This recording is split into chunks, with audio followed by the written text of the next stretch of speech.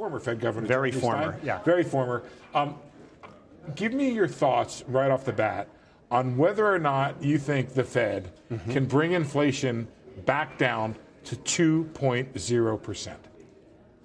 Yeah, I think that may be challenging. So obviously, I, I should preface it by saying we're in a pretty amazing place. I mean, if you think back to where we were a year ago, it's unfathomable that we'd be where we are. Um, you know, In my- terms of inflation being as low as inflation being this low, and the labor market still being basically great. Nobody here was predicting that last year. Exactly. So that you know, the, the the the context for this has to be whether by luck or by skill, they've done an amazing job. Okay. You know? Now, my best guess is inflation right now underlying is tracking high twos, 2.8. We saw the core PCE was 2.8. I don't know that it is going to want to voluntarily fall much further of its own accord. You know, it's come back a lot in part because of the supply chain stuff reversing itself. You know, the models that they use have a bit of a, a magic effect where if you say two, it just drops to two. I don't really buy that so, So you much. think the Fed should sort of what? Sort of cut its losses now and reverse policy, or No, what would be I, I the think, best, I think it, it depends here? a little on the context. Right now, we've got a strong, the, the, the labor market is strong, output growth is strong. I'd be inclined to just be a little bit patient and wait a couple of meetings. If you start to, and so in that sense, they can be pursuing the goal of getting inflation down a little bit further. I'm not against them doing that. Right. It's if the, the trade-off starts to bite. In other words, you see the economy weakening, then obviously you're going to, you know, now they're they're at the point where they have to be balancing both legs of the mandate. There is a big debate going on, which you just addressed in the luncheon here, mm-hmm. about what the neutral rate is. And Right. people don't need to get too excited about the neutral rate. It just means what's normal, right? Where would the Fed put the interest rate right now if it was not trying to accelerate or decelerate the economy? The Fed seems to say that long run rate is 2.5%. Does that seem right to you? That seems low. So we're talking about two and a half. That's if it's two and a half percent nominal. Right. That seems low. I think actually where the market is right now. So if you look at like the two-year T-bill, Right. which is a reasonable proxy for sort of the path of, uh, Sure. of monetary policy, that's in the fours.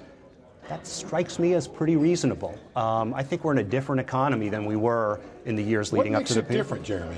I think so some of it, you know, you can point to some fundamental factors, debt to, you know, government spending, all that puts pressure on savings. Um, and I think some of it is just the path that we've taken. So we took a path through high inflation, and I think that has more inertia sometimes than we give it credit for. So, you know, inflation was stubbornly kind of in the ones, Low 1.7. for right. And I think that has some self fulfilling history dependence to it. We've been through a period now where it's been high. People's expectations for it going forward may be a little bit higher, and that tends to make it settle in at a higher level. So what you're saying to investors out there, which hmm? is, we're not clicking our heels and going back to Kansas of two percent I so. or sub two percent inflation. I'd argue with you the following way, with, without conviction, Hmm. Yeah. which is. Um, what about all those forces, the global forces, the things, the excess savings Hmm. glut, the things that caused us to believe we'd be in a sub 2% inflation world? Have those gone away in the pandemic? Many of them remain. Uh-huh. I think we may have overfit the stories. In other words, we definitely had low rates. Right. Was it really because of the savings glut? Was it really because of something else? Those were stories that worked really well after the fact. I'm a little less sure that that was the reason. And some of it, I think, especially in the 10 years leading up to the pandemic, was we had low rates because we had low rates. I think there is an extent to which the economy gets a little bit addicted to low rates. And so, you know, if the Fed keeps rates low for a long time, they bring forward a lot of consumption. Everybody buys a new car and a new refrigerator. And then you have to kind of keep rates low to keep things going. So r-star was definitely low, Right. but I'm not so sure that a simple, it's this demographic thing or that demographic thing is the. Jeremy, last question. We're, we're kind of out of time here, but should the Fed be so quick next time, and hopefully there is never a next time, but there always will be, to go to zero and do QE again? Or do those things look like at the end of the day they were more trouble than they're worth because of how difficult it is to exit? I think they will have to go, you know, if the economy is really suffering, it's their job. And Right, if you they sit in the chair, right. they have to certainly go low with rates.